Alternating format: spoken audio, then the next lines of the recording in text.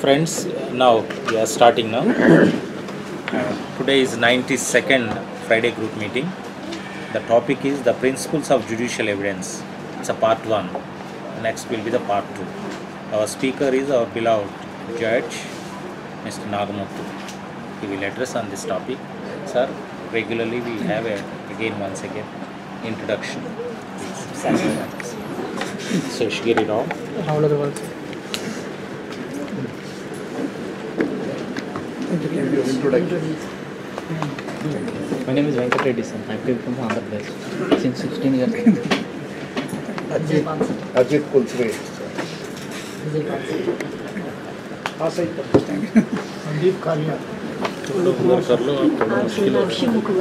प्रसून कुमार विश्वास अमित प्रताप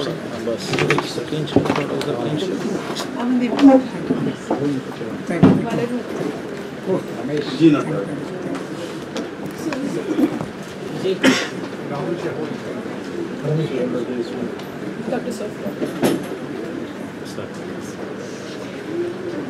थोड़ा ध्यान रखना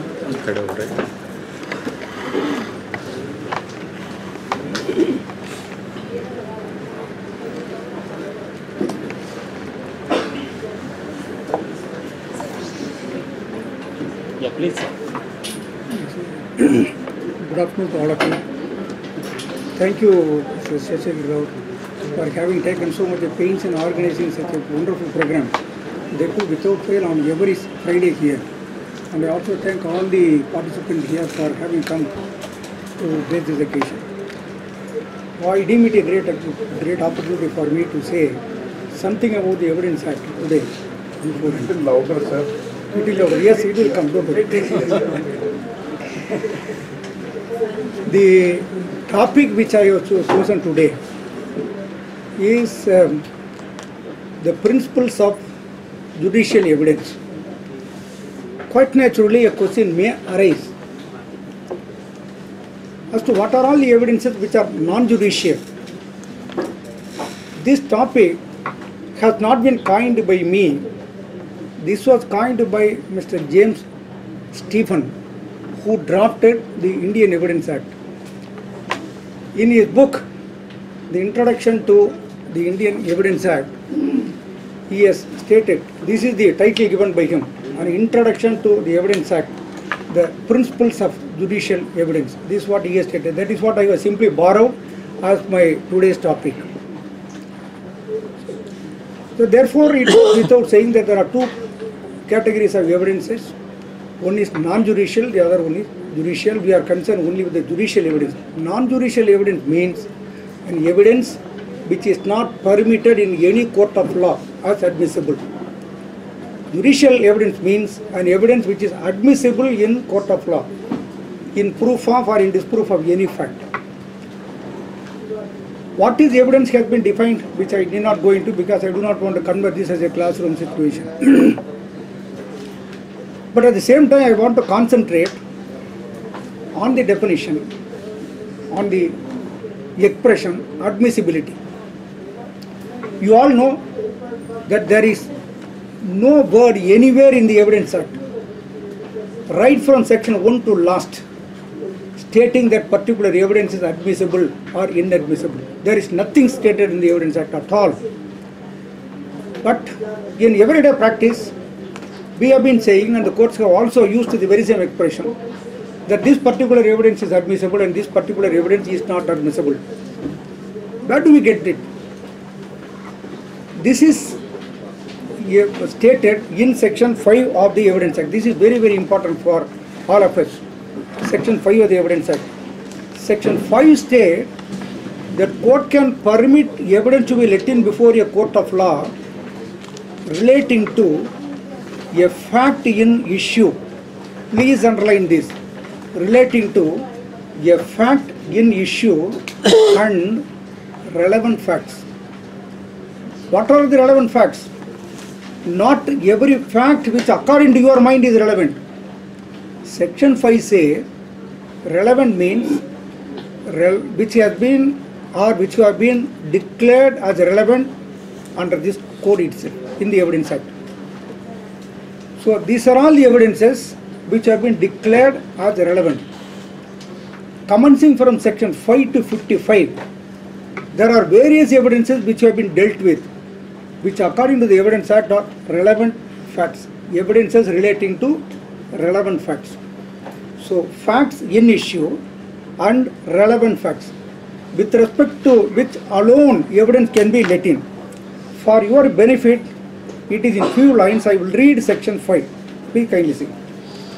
Evidence may be given in any suit or proceeding of the existence or non-existence of every fact in issue, every fact in issue, and of such other facts as are hereinafter declared to be relevant, and no, and of no others. This is what we say, this is not admissible. If the evidence is not relating to a fact in issue or relating to a relevant fact, we say that it is not admissible in evidence because section 5 says and no such evidence can be let in of no others. This is the phrase which we have been in common parlance using as inadmissible. Therefore, evidence whenever you do any case, so let us concentrate today on criminal cases. Whenever you do any criminal case, every fact, whether relevant fact or a fact in issue, is to be proved by means of evidence. First, what we have to see is whether a particular piece of evidence, either oral or documentary, is admissible or not. First and foremost question. If to bring any particular evidence as admissible, that should fall under any one of the provisions of section 5 to 55 or it should directly relate to the fact in issue. That test we have to always look into. If we are able to say, no, no, no, this is not relevant for any purpose, no, no, this does not fall under any one of the provisions of section 5 to 55, then we can very boldly tell the judge that this piece of evidence is inadmissible. For example, I can say, See, any evidence, any statement recorded by the police during the course of investigation under section 161, it is a document, it is a documentary evidence, can it be admitted in evidence? No, it can't be because it is barred under section 162 of the Evidence Act. Section 162 of the Evidence Act says that, an, that a statement recorded that is reduced into writing by an officer investigating the case during the course of investigation, that is very, very important, during the course of investigation cannot be used for any purpose. Language is so emphatic, it can't be used for any purpose except for one purpose, main purpose, that is to contradict the maker of the statement when he is called as a prosecution witness in court during the trial of that case. That is the only purpose for which it can be used. The, there is an exception to this. Suppose the statement falls squarely under section 32 as a dying declaration, or if it is a statement leading to a discovery of a fact under section 27 of the Evidence Act, in those circumstances, this statement can be admitted evidence. Therefore, whenever we a statement, a documentary evidence is produced before a court, first we have to see the first test, or whenever any oral evidence is let in, first we have to see whether it is admissible or not. This is very easy for us.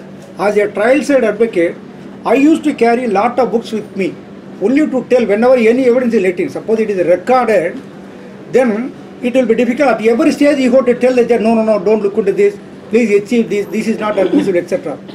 To prevent the judge from recording an inadmissible evidence, I used to keep lot of books with me. I will tell the judge whenever something is said by the witness, I will tell the judge, no, no, no, please kindly don't record. This is not admissible in evidence. This is to prevent it because this will somewhere or here it will trouble the mind of the judge. So, you are not concerned with the trial, but incidentally I have said. What I would say is that whenever any evidence, whether oral or documentary, is produced before the court, first test you have to look into is whether it is admissible or, or not. What is the, how do you decide whether it is admissible or not? Whether it falls, whether it is directly related to the fact in issue, or one of the relevant facts are declared in section 5 to 55 of the Evidence Act. So what is relevant fact? Then we will go to that. We have to identify that also. What is relevant fact we have to identify. What is relevant fact we have to identify. What is fact and issue. Suppose there is a case, instead of explaining this, it will be better for me to tell you an example. there is a, an, an accusation of murder. A murdered B. What are all the facts and issue? Whether A cut the cost of the death of the deceased by cutting with so and so on. First fact and issue. Second, whether he had the intention to cause the death or in other words whether his act fall under any one of the provisions of section 219 or 300 these are all facts and issue in other words to understand it in a simple way i would say look into the substantive penal provision what are all the ingredients if there is those ingredients form part of the facts in issue this is very simple murder means what culpable homicide first of all 219 we already said First of all, whoever causes the death, whether A caused the death of B, question number one, fact and issue. Number two, with the intention of causing death, whether the accused had the intention to cause the death. These are all the facts in issue. Then relevant facts. There is no eyewitness to the occurrence. The man is lying with serious injuries. He is taken to the hospital where he gives a dying declaration. That dying declaration has been declared as a relevant evidence under section 32 of the Evidence Act. Therefore, though the dying declaration, no witness has seen the occurrence. A person who has seen the occurrence can give evidence directly, yes, I saw this man killing. It is directly in respect of the fact and issue. Other witness comes and says, I saw this accused running away from the place of occurrence, utter about the time. Is it directly to the fact and issue? No. It is only relative to a relevant fact. How do we say that it is relevant? See, we have to fit in under any one of the provisions between 5 to 55. I already told you. The accused runs away from the place of occurrence, running away. This indicates the conduct of the accused. This is relevant under section 8 of the Evidence Act. So therefore this is admissible. The witness comes and tells the court, I saw the accused at about the time running away from the scene of occurrence. You can say, no, no, this is irrelevant. Can you say? No. You cannot say because it squarely falls under section 8 of the Evidence Act. Suppose here is a murder which takes place at 9 o'clock in Delhi. A is accused of the occurrence. A gives evidence today on the same day at or about the same time, I was in Calcutta. He gives evidence. He brings witnesses and witness say, yes, he was in Calcutta, he was in Calcutta. One may ask, how is it relevant? This is also relevant under the Evidence Act as alibi evidence. That is also any evidence which is inconsistent with the fact and issue is also relevant under section 11 of the Evidence Act. Similarly, test identification parade. How is it admissible in evidence? Section 9 of the Evidence Act makes it admissible. It declares the same as relevant evidence. Then in a murder case, there is a huge crowd of people. A comes and cuts or stabs. Two or three people in the crowd cries, Oh, A stabs, A stabs, A stabs. It is heard by somebody. The person who heard the occurrence comes to the court and gives evidence. Whether this evidence is admissible or not is the question. Will it not be hit by the hearsay rule?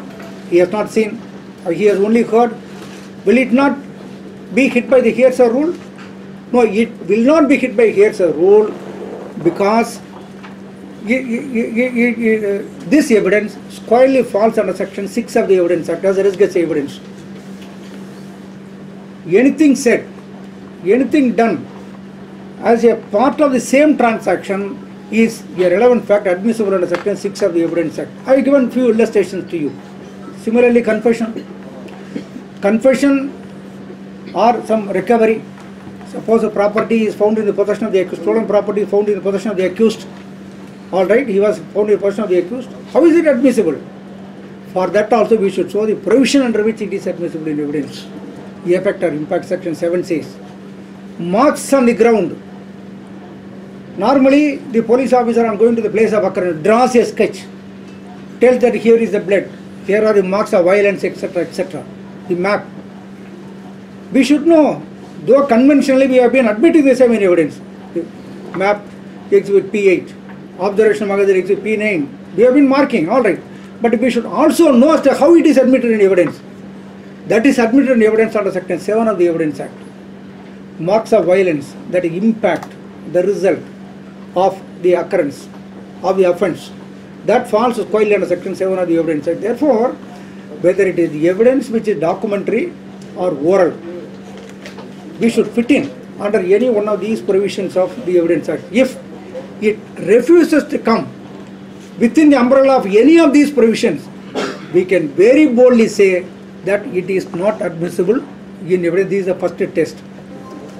After the, suppose in a given case, in respect of a particular evidence, you say, yes, it is admissible. You find, on analyzing, you are able to bring the same under any one of the provisions of the Evidence Act between 5 to 55 or somewhere else. You hold it as admissible. You are not going to stop with that. Oh, it is admissible. All right, over. Your job is not over there. Then you have to make further progress. The next thing is that you have to see whether this particular evidence is believable or not. That is very, very important. In other words, it is known as credibility of the witness. Courts of law have been writing in judgments that this evidence is inadmissible. I don't believe PW1. Who gives them authority to write like that? Judge writes, no, no, this I don't believe this man. Who gives the authority? Authority to the judge flows from section 3 of the Evidence Act. You please kindly see the definition for the word prove. So in these cases, in in criminal cases, there are several facts involved. Cumulative consideration of all the facts should prove the guilt of the accused. That is the test. Ultimately, the test is whether the guilt is proved. For that, several facts are placed by way of evidence. Every fact is to be proved. All proved facts should cumulatively say, yes, the guilt is proved. Then we have been saying that this fact is proved. First thing is admissibility. All right. From out of admissibility, then we have to say whether it has been proved or not. That is, whether written evidence is believable or not. For that, you please wonderful definition of the word proved. highly, this provision is highly unnoticed many a times during arguments by us. Proved. A fact is said to be proved. A fact is said to be proved when? Answer is after considering the matter before it. The court either believes it exist. Here you see the expression believing, believes. It is only from here court say, no, I don't believe. I believe. Who gives the authority? Section 3 gives the authority. If the judge believes, who believes? Judge. Court believes. Judge has to believe. When? After considering the matter before it, if the court believes the existence of a fact about which evidence is given, then the fact is proved. This is one part. That is, it depends upon as to whether the judge believes or not. You are a witness in a particular case. What is the test for the judge? Yes, to believe him or not is the test. If the judge says, yes, I believe him, for that he cannot in an arbitrary manner say, yes, I believe or I, I don't believe. That, that part I will come later. The first thing is the judge has to believe, the court has to believe. If the judge believes the evidence, then the fact which is spoken by that evidence is proved. The first part of this definition. There is yet another part that is very, very interesting. We say, or, that is other words, considers, who consider, court considers it, its non-existence so probable that a prudent man, I'm sorry, considers its existence so probable that a prudent man ought, under the circumstances of the particular case, to act upon the supposition that it exists. You just see the wonder of the language used.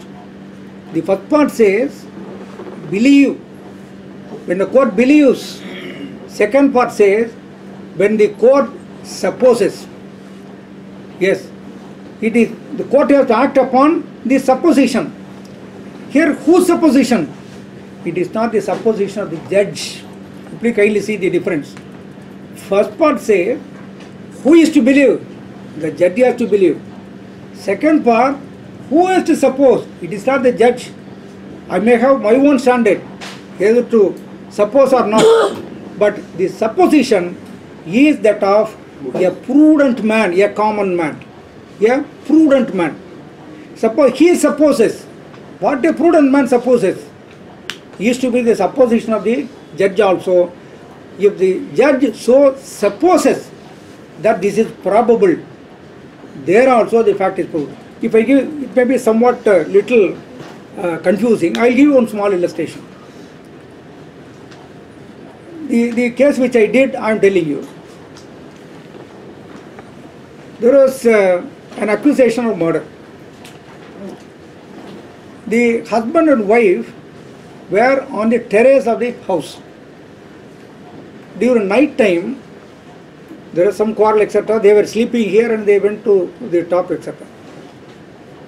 The father and mother of the lady, on having heard some murmur from the open terrace, they go there. By climbing up the stairs, they go there. At that time, the husband is running away, fleeing away from the scene of pushing them. He climbs down and runs away. There is no other evidence here. There is no other evidence. They go there and uh, she is struggling for life. Within few minutes she dies. There are injury. Doctors say death was due to strangulation. Correct? Death was due to strangulation. there is no more. What is the only piece of evidence? The only piece of evidence is that the husband was found fleeing away from the place of occurrence. Then who has committed the murder? Who has committed the murder now? Nobody has seen. There is no direct evidence to believe or not to believe. Now the, the these two people who are the residents in the down in the ground floor, they saw this accused of fleeing away. This is the only evidence. Whether this is a case for a conviction or acquittal. What is your view? Conviction.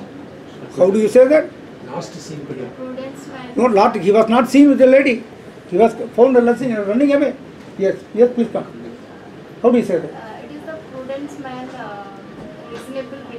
That uh, the person who is the means he is the wife, uh, husband of that uh, Very lady good. and uh, See, she's any other answer? She's somewhere near. She's somewhere near. The others are excluded from being there. There is no one else except them. That is one circumstance. That is one The circumstance. quarrel is also one. No, no, whether yes, yes, you are right. You are also and right. mother father is also. No, I am I am saying that you should bring within the Yeah, definition for the term prove. That is what. There are other circumstances. See, the, the motive is there. So many things. We are not on that point. Mohit These are only evidence. Yes, My please. Uh, no more, my lord. It seems like, because there is allegation against us, right? Yes. Now the onus to. would The receive- onus of proof is something different. Onus of proof is something different. Along, along with the circumstantial evidence, some recovery or something. No, no recovery. No there is recovery. adverse. No recovery. Against that, because there is allegation, there is no direct evidence. It's- it's- No direct evidence. is, that is, the whole case is based on the circumstances. See, it's very interesting. Okay, anyhow, we are slightly deviating. I will explain this because this is very interesting. Here, as she rightly said, we are bringing the same under the second part of the definition for the word prove. How do you say we are all common men? Correct? We are all prudent people. A prudent, you are prudent. Prudent means what? A nothing but a common sense of a reasonable man. See, what is human mind? And suppose I say, tomorrow uh, there is going to be a, uh, next year by this time there, there is going to be a rain. Would you believe that? Would you believe that? You will ask me, how do you say that? I say, no, I say it will rain, you will see that. What you will say? No, no, what is this? This man has got no sense at all, he has got no proof, he is just blabbering. Don't believe it. Why? Your mind is not an ordinary mind. Yours is a reasonable mind. Whenever any statement is made, your mind looks for some reason before accepting the correctness of it or not. You won't simply blindly accept whatever is said. Mind always searches for reasons whether to whether to accept the statement or not. When I make such a statement that next year by this time it will rain, your reasonable mind finds no reason to accept my statement, therefore it disbelieves it. No, no, no, I won't believe. Go ahead. I won't believe you. Correct? This is a test for belief. Second part, she that's what she said. Second part is regarding supposition. Supposition of whom? Supposition of a prudent man. Prudent mean, man means a reasonable man. A man who always acts on reasons. So your common sense, your reasonable mind now has immediately given the answer. No, this fellow would have committed the murder. Correct? This fellow would have committed the murder. Therefore, you, you have acted on the supposition that this fellow would have committed the murder. This supposition will go to prove the fact that he was the one who committed the murder. Correct? He was the one who caused the death. Murder or not is a different matter. Who caused the death of the deceased. So this is the uh, supposition. So a fact is proved either on the belief of the judge or on the supposition of a common man. This is a way in which we analyze evidence. In any case for that matter, whenever any evidence, whenever lot of evidences are uh, uh, let in, we see first as a judge or as a defense counsel, what I have been looking for always is whether it falls in the first part or second part. We can tell the judges, no, no, don't believe. Otherwise, no, no, no common man would believe this. See, for example, I will tell you. One, there are two eyewitnesses, two sons of the deceased. He is killed near their house. Just in front of their house, the father is killed. Who are the eyewitnesses? Father, son, two sons. There is nobody else in the house. These two sons claim that they witnessed the occurrence. They come, and give the evidence. But during cross-examination, they have admitted that after the occurrence, they did not take the deceased to the hospital. They did not inform the relatives. They did not go to the police station. They went to the tea shop. They had a tea. They, it is in evidence that they went to went for a cinema. They enjoyed cinema for a whole night. Then he, they returned home. They slept very peacefully in the Panchayat board building. Next day morning, they go to the they, they, they come to the house. They do not say anything about the occurrence. Somebody saw the dead body lying there somewhere in the corner. They informed the police. Then all of a sudden these people say, yes, we saw the occurrence. It was this fellow, A only com- committed the murder. We saw the occurrence. Eyewitness directly speaking to the fact and issue. Would you believe him now? Would act upon uh, his evidence? Why? Our common sense, our reasonable mind say, don't believe this. What is this? We, this fellow cannot be believed. Therefore, we say, though this man has given evidence, we reject his evidence because no man with prudence can act upon his evidence, can act upon, no prudent man will suppose that these people would have seen the occurrence. That is, this is the reason why we will say that we have to reject the evidence. Then you may say, what is wrong in accepting his evidence? Why? My mind says that I can believe these two people. You may not, common man may not come under the, common man may not have the supposition, but I believe. Judge may say that, I believe him, therefore I can, That is also possible, is it not? That also we should demolish. How is it? Generally, an occurrence is not seen by anybody, is not seen by the judge. Correct? You, the defense counsel, you have not seen the occurrence. He, the prosecutor, he has also not seen the occurrence. But you are called upon to argue the case. He is called upon to prove the case. The judge is called upon to decide whether the murder was committed, whether the death was caused by this man or not. How is it? Nobody has seen. Here, what we do in courts, it is nothing but mere inference, is it not? From out of various evidences let in before the courts of law. We first assume, we assume, yes, this man would have done that, yes, yes. First thing in the in the illustration which I gave also, what is the first thing? we assume. This fellow, as he rightly pointed out, there is nobody else. You are the only man. So therefore, we assume that this fellow would have committed the death of his wife. We assume. Can the court of law act on such an assumption? No, it is not possible. It is not permitted in law. Then what is required? An assumption should take the shape of presumption. Law recognizes only a presumption. Law permits the court to act on a presumption. What is a presumption? There are three types may presume, shall presume, and conclusive proof. I will come to that a little later. Now, and if there is no evidence, you go to the place of occurrence, there is no evidence, immediately some suspicion arises. This fellow would have done because he is inimical. He would have done the murder, he would have committed the murder. That is mere surmise. For surmise, no evidence is required.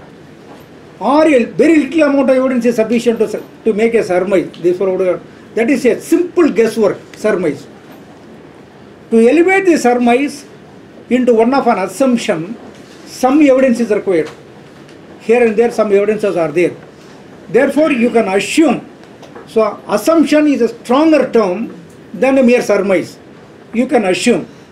But the court cannot assume and on that assumption act upon because there is no law which says that by means of assumption you can hold the fact proved. So the assumption should be elevated further to position of presumption. So presumption, section 3 defines what is when the what is presumption? Presume, court may presume. You just see the uh, the definition is very interesting. Actually, may presume. You please kindly see. Whenever it is provided by this act, whenever this language is very very important. Whenever it is provided by this act, it is not your assumption. Surmise is not provided in this act. Assumption is not provided in this act. What is provided in this act? Only presumption. That is why it says, whenever it is provided by this act, that the court may presume. So you should find a provision under which you should tell the court that you have to presume. Correct? You have to presume only under this provision. So the court may presume provided such presumption is provided anywhere in the Evidence Act. So whenever it is provided by this act, that the court may presume a fact. What is presume? It is not presumption of guilt. Presumption of a particular fact. It may either regard such fact as proved unless and until it is disproved.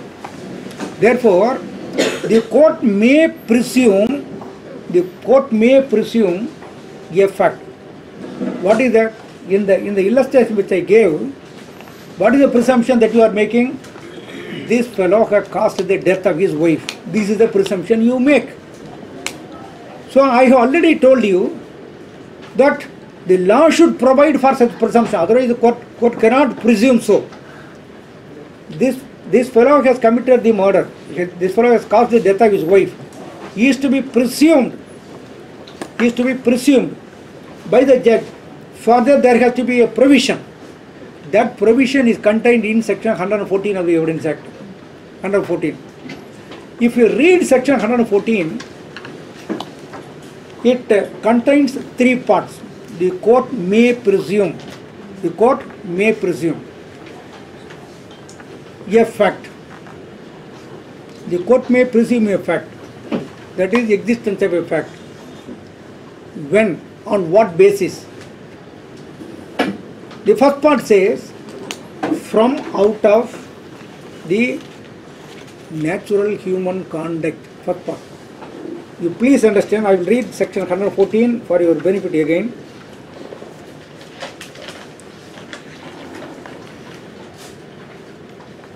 The court may presume the existence of any fact which it thinks likely to have happened when regard being heard to the common course of natural events, human conduct and public and private business in the relation to the facts of the particular case. It is on this only the courts of law give judgments by presuming certain facts.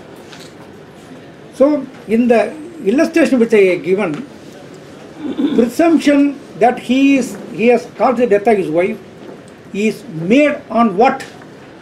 On his conduct, correct? Now, you correlate certain provisions. I have already told you that evidence should be on the on the table of the judge as admissible. If it is admitted, it will be on the table. If it is inadmi- if it is inadmissible, I will throw it out, throw it, take it out. It won't be available on the table of the judge for consideration. So therefore, it should be first of all brought on record. It should be admitted. For that, we employ section 8. This man was found fleeing away from the scene of occurrence. I say, yes, he was found fleeing from the scene of occurrence. Witness says, this we admit under section 8 of the evidence act. Yes. After having admitted, next stage comes analyzing, analyzing whether to believe this man or not.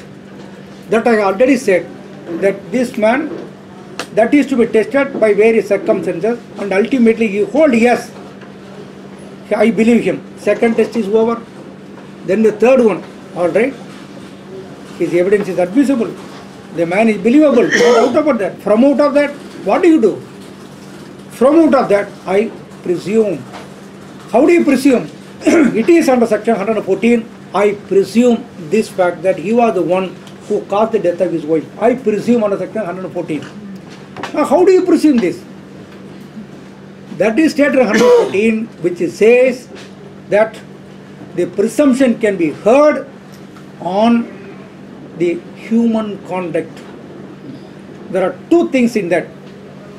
Normally, we call the same as natural human conduct and unnatural human conduct. In a given situation, the test is in a given situation, what would have been the natural human conduct? That is the test. He suppose he had unnatural human conduct, we say we presume against him.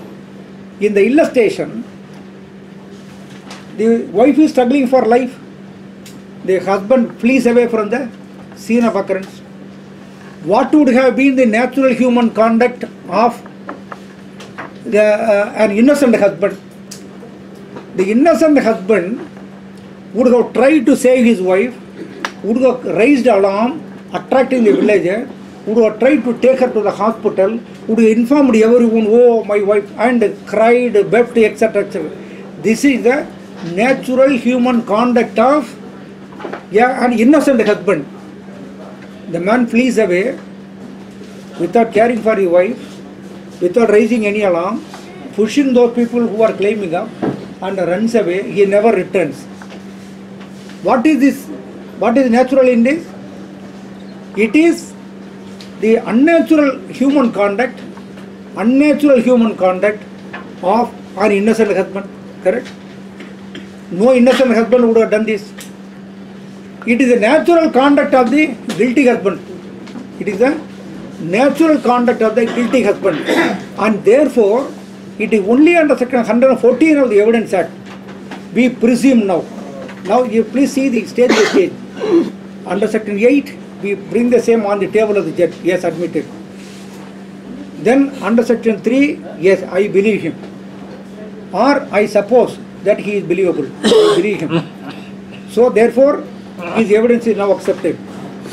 Then third stage, on, oh, yes, you have admitted, you have believed. What are you going to do? Yes, from out of that, I presume under section 14, 114 of the Evidence Act, yes, he has done this. Very good. Why you presume? Section 3 says, if the buyout of presumption, the court can presume that the fact is proved. That is what it says. Then it also goes with a rider. It says, unless, unless it is disproved. So that or rebutted. That means what? The accused has got right to rebut this presumption. Accused has got right to rebut this presumption. How can he rebut the presumption? He can lead evidence or he can bring materials on record from out of the evidences collected from the prosecution witnesses to rebut this presumption, to dislodge the presumption. If the presu- presume the presumption is not rebutted, the fact stands proved. Therefore, it is all the more necessary for the accused to dislodge, to rebut the said presumption. If it is rebutted, then presumption disappears. Then the fact is not proved. How it is rebutted? See, he can give an explanation now. He can say, yes, I went there and my wife cried. I rushed there. I saw my wife with the injuries. I rushed there to take the doctor. He gives an explanation. Correct? I rushed out to go to the doctor, to bring some doctor, to bring my relatives. I went there. This kind of explanation is offered. Suppose this explanation is accepted by the court. Suppose there is evidence for that. It is accepted by the court. Then the presumption is rebutted.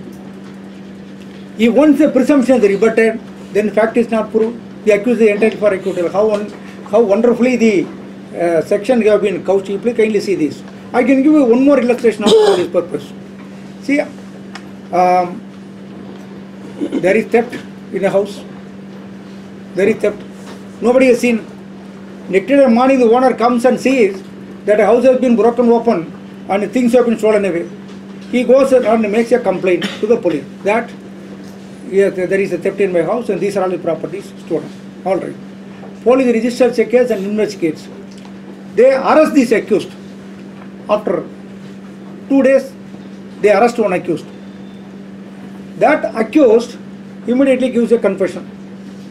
From out of the confession, the stolen properties are recovered from a particular place, from the place of concealment.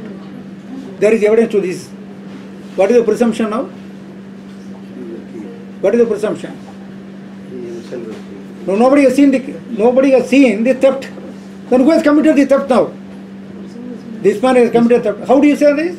recovery. Sorry. Usual possession. It is out of presumption. It is out of presumption.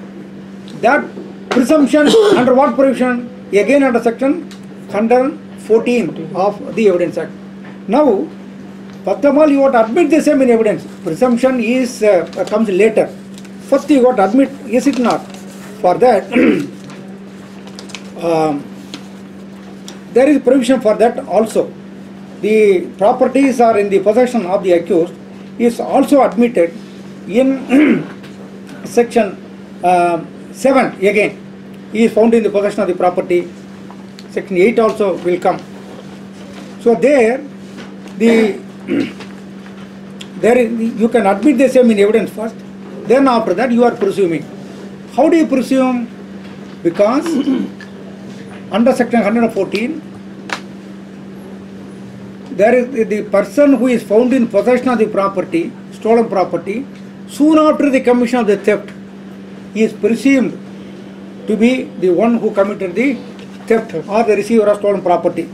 114 illustration A says that a man who is in possession of a stolen goods soon after the theft is either a thief or he has received the goods knowing them to be stolen or unless he can account for his possession. So this is the presumption. Therefore, you presume that he has committed the uh, theft. This is again out of the human conduct. Suppose he explains. Yesterday I was coming from so and so place. On the side of the road, I found a small bag. Without knowing that, out of curiosity, I took it and opened. These things were there. And when I was just opening, police came and caught me hold.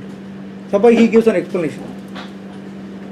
Suppose this explanation accepted by the court, can you can you still presume yes he has committed theft? This is also natural. This is also natural. Suppose you go on the road and you find something, some goods lying, you take it, suddenly you are caught.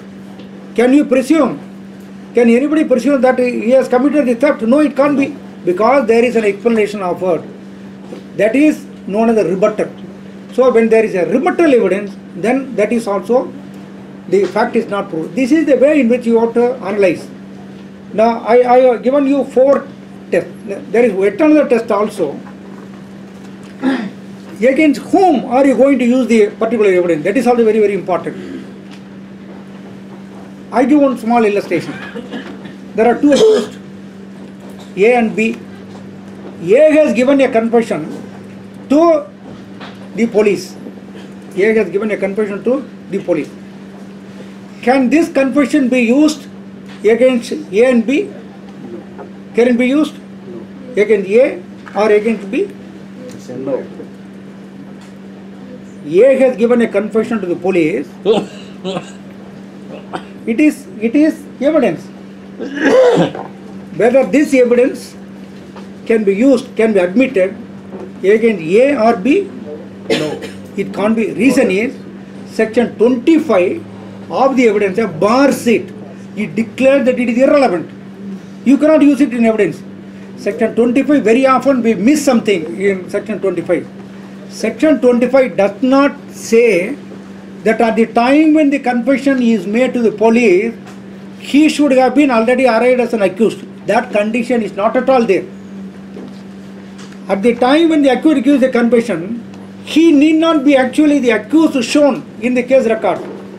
He can be later on treated as accused, but still the confession is inadmissible, number one. Number two, the confession need not be to the police officer who is investigating or need not be to the police officer having jurisdiction, this police station, that police station. Even if he is a police officer of a different country, not only here in India. Suppose the confession is made with accused to a police officer in America, even then that confession is not admissible because there is a total bar under section 25 of the Evidence Act so far as the confession to police is concerned. Very good. Then you go to section 26. Section 26 says that if any confession is made by an accused while in police custody, this language while in police custody is found missing in section 25. Therefore, when a confession is made to the police officer to invoke the bar under section 25 of the Evidence Act, one need not prove that he was in custody. It is enough that he is a policeman, he was later on treated as accused, and the statement is a confession. It is inadmissible for the purpose of section 25. 26 says, while in custody, suppose a confession is made, it is admissible provided it is made in the immediate presence of a magistrate.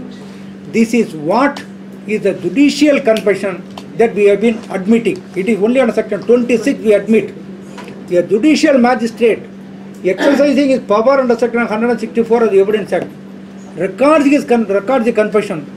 That confession, though the man has already been arrested, though he is in the custody of the police, still that confession is admissible because it is made to a judicial magistrate. So therefore, that is admissible. It falls under section 20. That is how we do not admit the confession made to the police. At the same time, we admit the confession made to a magistrate though in custody. This is section 26. So I will take only two more sections. I will finish. Then goes to section 27. Section 27, every one of us should know the niceties of section 27. It is very, very important provision because I have not seen any case without invoking section 27 of the Evidence Act. All the other provisions, section 8, 9, 10, in one case 8 may come, in one case 9 may come, in one case 11 may come. But almost in all cases, section 27 is invoked by the police. That alone I will concentrate. So far as section 27 is concerned, this is an exception, a proviso to section 25. Section 25 completely bars a confession made to the police. But section 27 commences, starts with the language like this, provided. That means it is a proviso to section 25. It says so much of information. I, I, I, I say in, the, in a very simple language, I am not reproducing section 27 so much of information which distinctly leads to the discovery of a fact alone is admissible in section 27. That means what? You all know about Pulukuri Kottaya's case, where the in the confession accused said, I will show you the place where I have hidden the knife with which I stabbed Sivaya. In 1937, Madras High Court for the first time held in Mirza Akbar's case that if once there is discovery of a fact, in other words, there is a recovery of a material object used for the crime, then the entire confession is admissible was the view taken by the Madras High Court in Mirza Akbar in 1937. Between 1937 to 1947, for 10 years, this was ruling, the judgment was being followed by all the other high courts. All the other high courts, in those days only three or three high courts. High courts were all following. Then the matter went up to the Privy Council in 1947 in Pulukuri Kottaya's case.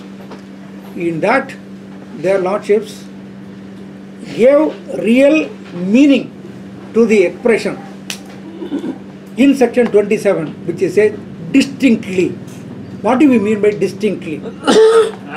they draw inspiration from the speech made by Mr. James, the author, the draftsman of the Evidence Act. Why this expression dis, uh, distinctly was used? So they ultimately they held distinctly means so much of information. You should segregate the statement into several components. The smallest part, the minimum required part, which leads to discovery alone is admissible. In other words, in that case, what they said, the portion, I have hidden the knife here, is admissible, with which I stabbed Sivaya is inadmissible, they cut it. But what is happening today in the country? In many cases, judges without knowing the difference admit everything. And they also say about, uh, rely on the, the confession made. One question arose before the Privy Council, this has been recognized by the Supreme Court also. Question arose before the Privy Council. Uh, then how to prove? Here is a knife, all right. How to prove that this was a knife which was used for uh, stabbing him, unless we find the same in the confession also. Privy Council, no, no, no. For everything, don't look into the confession. To prove that this weapon was the one which was used for the commission of the crime, you look for evidence in, through other sources. Don't look into the confession. Therefore, so far as section 27 is concerned, the so much of information which leads distinctly to the discovery of a fact alone is admissible. It speaks of an information. It speaks of an inform so much of information. Please kindly understand this. So much of information. It does not say there's so much of confession. It says only an information. Therefore, I will show you the place where I have gotten the knife. Is only an information. There is no confession. But section says whether it amounts to confession or not. That is also used there. Whether it amounts to confession or not. So in there, I will show you the place where the, where I have hidden the knife. There is no confession. But section says it may or may not amount to confession. I will give one illustration where the smallest, the minimum statement also amounts to confession. I give a confession. I have, I will show you the place where I have hidden ganja. How can you segregate this? Possession of ganja is an offense. Will it not amount to confession? This amounts to confession. So the information which is given by the accused, which leads to a discovery of a fact, may amount to confession or may not amount to confession and may remain to be only an information, mere information. Correct? That distinction also you should see whether it amounts to confession or not. So when you read the Evidence Act, you should find the interleague relationship between various sections. Now I have given uh, the, the, these uh, uh, uh, illustration regarding, you come to 114, I will give you another illustration. You see 114, illustration B says, uh, the court may presume that an accomplice is unworthy of credit unless he is corroborated in material particulars. What does it say? If there is only an approver, no other evidence. Can you convict an accused under this provision? under this provision, can you convict? No, because it says the court may presume that an accomplice is unworthy of credit. He is not worthy of credit. That means what? Don't believe him. Though his evidence is admissible, don't believe him. If you want to act upon him, his evidence, unless he is corroborated in material particulars. If there is corroboration, act on his evidence. If there is no corroboration, based solely on the accomplice evidence, solely on the evidence of an approved, don't convict. That is what it gives the meaning. But at the same time, just come to section 133,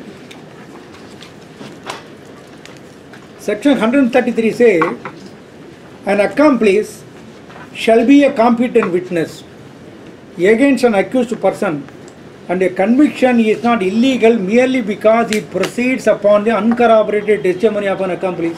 You see? Prima facie there appears to be some conflict between these two. 114 say he is unworthy of credit. Look for corroboration. Don't convict. 114 says. 133 say it is not illegal to convict for want of corroboration. How to reconcile these two provisions? Like this, there are several provisions in the uh, uh, Evidence Act which are to be read conjointly and the interplay between various provisions are to be understood first. Likewise, you take section 30 of the Evidence Act. I left it somewhere at the last test, section 30. Confession is admissible. I already said under section 24, confession, extrajudicial confession is admissible provided it was not out of any inducement, threat or force used, it is admissible. If the confession is made to a police officer, it is totally barred, not admissible. Section 26 says that while in custody, if it is made to a magistrate, it is admissible. Section 27 says, while in custody, in a confession made, in a, if there is information that leads distinctly to the discovery of a fact, that portion alone is admissible in section 27. Now come between 24 and 30. 24 is extrajudicial confession. That binds whom? That binds the man who made it. I make a confession, I am bound by that. But in the confession, I say that I, along with Balaji, we committed the murder. We gave such a confession. How can he be held responsible for that? Is it not? Can he be held responsible? Where is the occasion for me to cross-examine me? If I am a witness, when I come into the box, he can cross-examine and dislodge my evidence. There is no occasion for him. That is the reason why in section 30 of the Evidence Act, they impose certain conditions. Certain conditions. Section 30 says that the evidence of, I'm sorry, the confession of a co-accused, please kindly see the language, has not been stated to be relevant has not been stated to be relevant. Section 24 says relevant, section 26 say relevant, but 30 does not say as relevant. What is the language used? The confession of the co-accused can also be considered, only be considered against the other accused. What are the conditions when there is a joint trial? So if you want to see the, know the law on the subject, you please kindly go to 1952 Kashmir Singh's case. Supreme That is a fundamental case. I have used the case in several cases and all sub- subsequent judgments are still based on that only. Kashmir Singh case. There, I finish it with this. Sir. There in Kashmir Singh case, what the Honorable Supreme Court has laid down as a principle is this. When there is a co-accused confession, how to approach? Suppose A has made a confession against B. A is A may be held liable based on that confession. So far as B is concerned, how to approach? Because B has got no opportunity to cross-examine, to test the character, whether it is true or not. He has got no opportunity. Therefore, the Supreme Court said that the proper approach is keep the extrajudicial, keep the confession of the co-accused aside first. Don't look into that. The confession of the accused, you use it against him, against the maker. When it comes to the other man, first the court has to do is keep it aside. This is a way in which you got to present the case before the court. That is why I am impressing, uh, trying to impress upon you. Keep it aside. Don't look into that. You have to tell the court, don't look into that. Then you have to marshal all the other evidences available against this man, against B. From out of the evidences, all the other evidences available, if the court is able to come to the conclusion, yes, B is also guilty, then in order to further strengthen the said conclusion, as a last resort, you can also consider this co-accused confession. You can also consider the co-accused confession. Therefore, for any reason, if the court finds on marshalling all the other evidences that there is no evidence to find him guilty, then the co-accused confession cannot be considered at all for any purpose. It goes out. So therefore, the proper approach is, please kindly keep in mind, in several cases, there may be an extrajudicial confession given to an officer or there may be a confession to the magistrate also. When it comes to the question of co-accused, the confession of the co-accused cannot be treated as substantive evidence because the language used is not relevant. It only says it can be considered.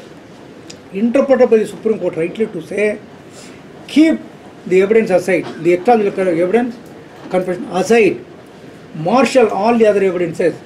On such marshalling, if you find that the, this accused is also guilty, in order to strengthen the said conclusion as a last resort, consider this extrajudicial confession also. Therefore, in any case where there is an extrajudicial a confession, whether judicial or extrajudicial, made by a co-accused, apply this test. The- that, that is how you have to see the uh, interplay 24 and 30 then 25 and 27 26 and 30 then 164 of the code criminal procedure and and section uh, 26 whether it is voluntary or not regarding section 24 whether it is voluntary or not 164 of the evidence that should be read then regard similarly regarding dying declaration then section 32 is very very important for that also, judicial dying declaration is there, dying declaration made to a third party is there, oral dying declaration is there. Whether it is relevant, it is relevant. Whether it can be believed, that test. If you believe whether this is sufficient or it is insufficient, there are, so therefore I say, I to conclude that whenever there is case before you, apply these four tests. Number one test, admissibility of the evidence, whether it is admissible or not, number one. Number two, if you find that a particular evidence is admissible, go to the next test, that is whether it is believable or not, that is credibility.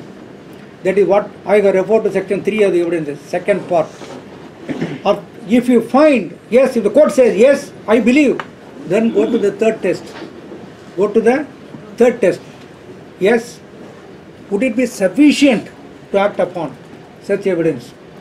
What are you going to do out of, from out of that? You are going to presume whether it is rebutted or not, whether this is sufficient or not. That is the third test. Whether it is sufficient to hold a person guilty or not. Test. If you hold yes, it is sufficient, then the last test is against whom are you going to use and what is proved. Last test, yes, he caused the injury, all right. The man died, all right. All proved. Then what is the last test? Yes, all right, I believe this witness, this witness, this witness, I hold, then he caused the death. The last one is there. What is the offense committed?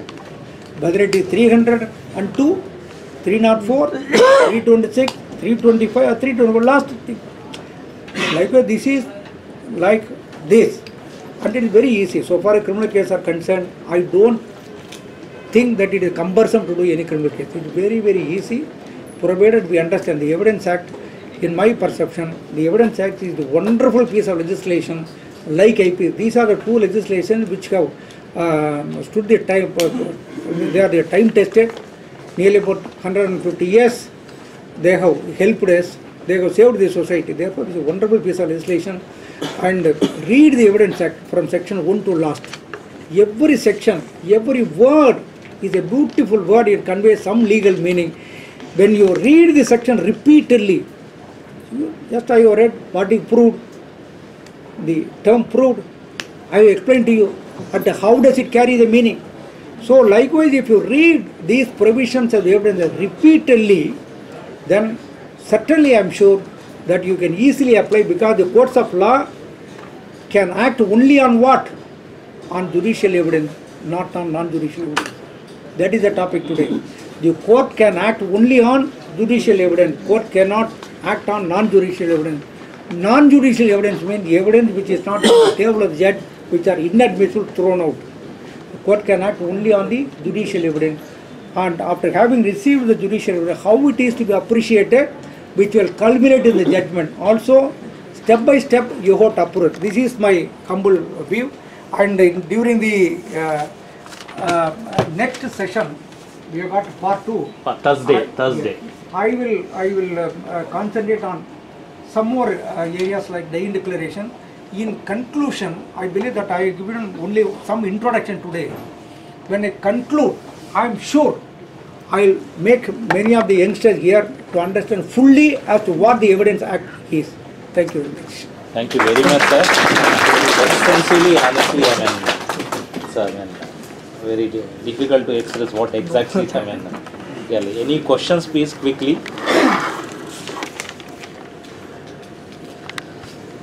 Yeah, please ask, quickly. Sir, if any statement is given by accused in front of magistrate, at that that same time, a police person is standing in the court. Fingerprint. No, no, no. If any statement made by accused in front of the magistrate, at the same time, a police person is standing in the court, that person would be, uh, that statement would be confessional? it is confession. Is there any doubt? What is confession? Admission of guilt, making a statement which contains admission of guilt is confession. Yes. It is confession. Yes. Correct? No doubt about that. Very good. Now what is the next test? Whether it is admissible or not. Not. If a confession is made in the immediate presence of a magistrate, it is admissible. False under section 26, it is admissible. Then, after admitting, what are you going to test again? Third test, whether to believe or not.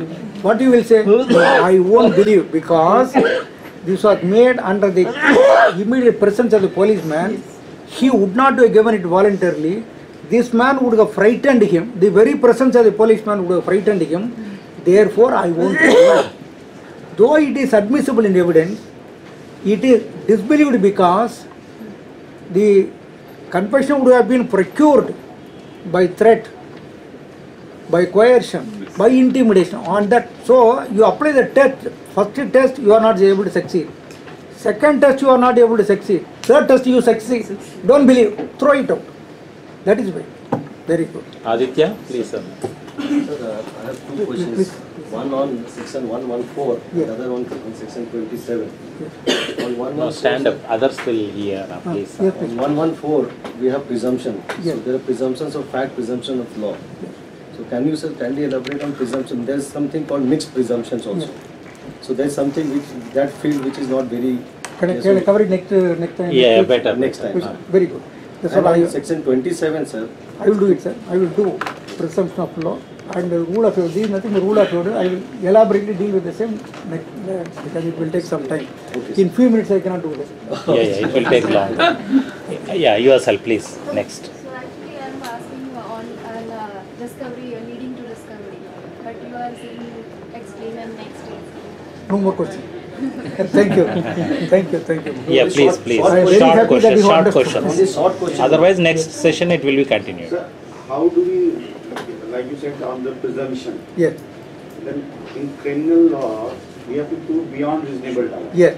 Then how presumption and proving this beyond uh, reasonable doubt will go hand in hand? See, that is what I am saying. I have been trying to. You are on on your point, really. Really, it's an appreciable point. Proof beyond reasonable doubt. What is proved? A particular fact is to be proved. In criminal law, our fundamental criminal jurisprudence is that every fact is to be proved beyond reasonable doubt. There is no doubt. You are standing here, proved beyond reasonable doubt. You was, uh, you you was uh, cutting, should be proved beyond reasonable. So every fact is to be proved beyond reasonable doubt. Correct? Presumption, presumption is based on what? In the illustration I gave, the man was fleeing away from the scene of occurrence.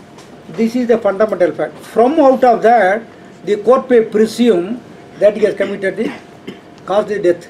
That is the presumption. Correct. Yeah. What is beyond doubt? What is proved? The man fled away from the scene of occurrence is proved beyond reasonable doubt. The Witnesses say, two witnesses say, I yes, we saw this man was found fleeing away from the scene of occurrence. This fact is proved beyond reasonable doubt. Correct? From by these two witnesses, whom you believe, whom you believe, it is proved beyond reasonable doubt. Yes, this man was found fleeing away from the scene of accident. So, what is the fact now proved beyond reasonable doubt? This man was found fleeing away from the scene of accident. That fact has been proved beyond reasonable doubt. Correct? Then, from out of the proved fact, you are presuming now. That is the legal fiction that you are presuming. From out of the proved fact that this man was found fleeing away, you presume yes, he caused the death. Correct? You understand the difference between this? So presumption is, is, is is- does not fall within the ambit of or domain of proof beyond doubt. Presumption is based on certain fundamental facts. Those facts are to be proved beyond reasonable. Let us let me give you more, one more example. Take the case of uh, dowry death 304B. What are the facts which are to be proved beyond reasonable doubt? There was marriage and uh, there was harassment. That harassment was soon before her death, correct? And the death was unnatural. If these facts are to be proved beyond reasonable doubt, marriage proved beyond reasonable doubt, harassment proved be reasonable doubt, soon before her death proved beyond reasonable doubt. If these fundamental facts are proved beyond reasonable doubt, then you presume, what do you presume? Yes, from out of these proved facts, from out of these facts which have been proved beyond reasonable doubt, I presume, what do you presume? He has caused the dowry death. Understand this? Thank you. Thank you, sir. Thank you very much. Sir, we'll take your autograph here, sir. Sir? Your autograph here, sir. yeah, I'll give my pen, sir. Thank you, sir. Just out of next page, we'll take your message. Oh, okay, Yes, I'll, uh, you, you write your I will sign my name. yes no? name. That's Okay? it. Uh, Autograph. autograph. Instead of sign, we'll say autograph. yes, sir. yes, yes. Uh, next page, we'll take sir message. Message next week.